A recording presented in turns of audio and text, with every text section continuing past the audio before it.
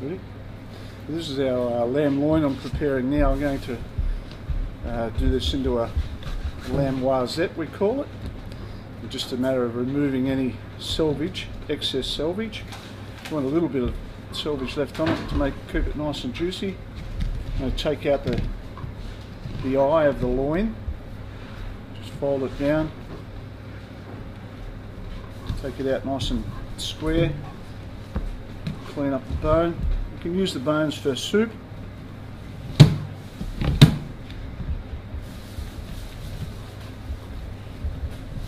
Super butcher to cut them up for you.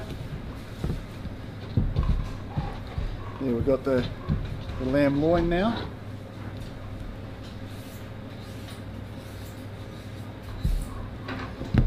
Go and take that excess selvage off the back.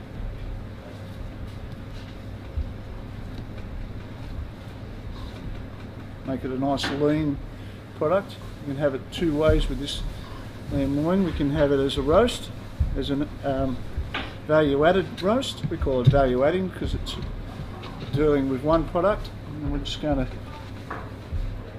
make it into a couple of new products.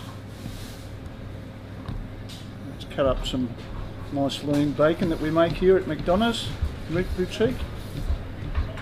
We're in 119 North Road Ryde. Going to make this into a, a ham and spinach roast, lamb noisette. It's got some nice fresh spinach here. This is English spinach.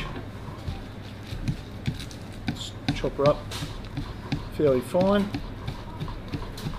Get some nice coarse breadcrumbs. If you make it yourself, it's better.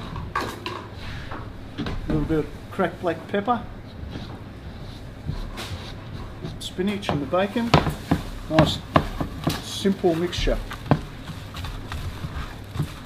Mix it up so it's nice and even in consistency.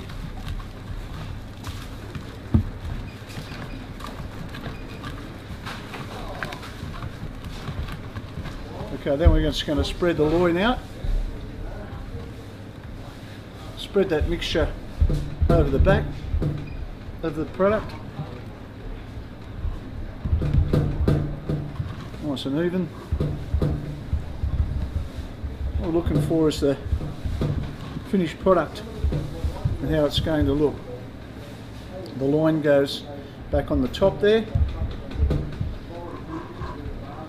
Just going to roll it up.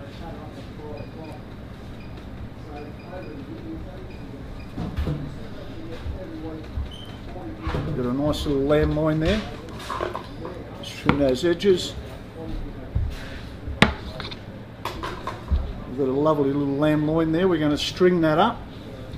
Now you can have it either as a roast in a piece. That would take around about 45 minutes at 180 degrees Celsius. And now this is the finished product. This is either going to be a nice lamb loin roast uh, with spinach and ham, sage and onion, or lamb noisettes.